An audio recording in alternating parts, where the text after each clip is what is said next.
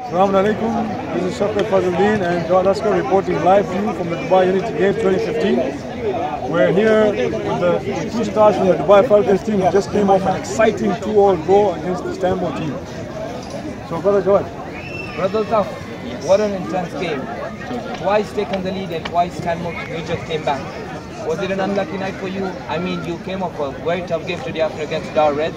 Yeah. And uh, that was even a tense one-all draw. But your team is beginning to gel. The players are playing, but something, some aside, the chemistry is still missing. What do you feel it is? It must be like it's actually it's all about time. Normally it takes a week or two to gel up, but we don't have enough time. But seeing the way we are playing right now, it's just it's just the second game right now. So most probably it'll take us a day. Uh, you can say by tomorrow it should be fine, and we should perform. Do you feel hopeful to be going to the cup event or the plate event? In your own honest expect. I think we can make it up to the cup, and we can actually win it if we turn up. So you have three crucial games tomorrow. A victory is needed, at least two or one, to make sure your passage is through to the top. But saying that, the team is playing very well. I can see the players are fighting. And hopefully, we pray you get forward as Dubai Falcons. The whole Dubai is behind you.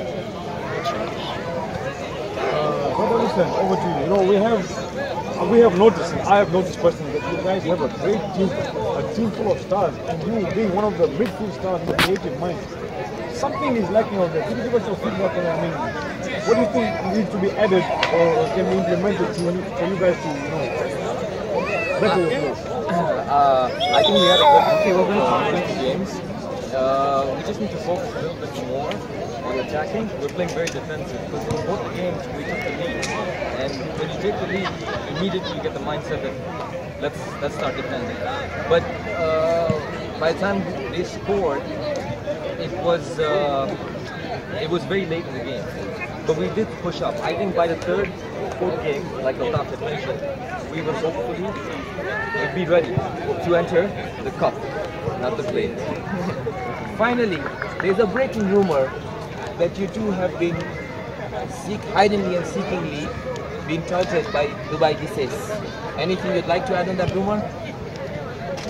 Actually, not really, but yes, uh, they have actually challenged us, firstly, and they hope to actually move further than us. Then they think that we're going to go in the plates and they're going to go to the cups, but it's going to be the other way around, and that's for sure. Or you're trying to push your own transfer through to them?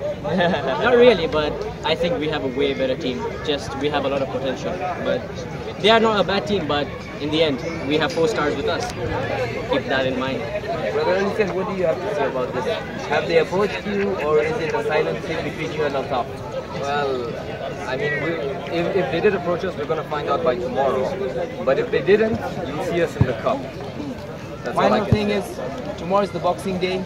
All teams are playing. Do you think Leicester will still have it to win and stay on top of the Premiership? Or do you think Arsenal might just pick them tomorrow and start the new year being being top of the league? I'm putting my money on uh, Leicester staying. Same. Totally. I like the underdogs. Brother Okay, there you have it. Brother Ali Hussein and Brother Altaf, thank you very much. This is Brother Shafkat Fazaldin and Brother Jawad Askar signing out. Unity Sports 2015. Dubai!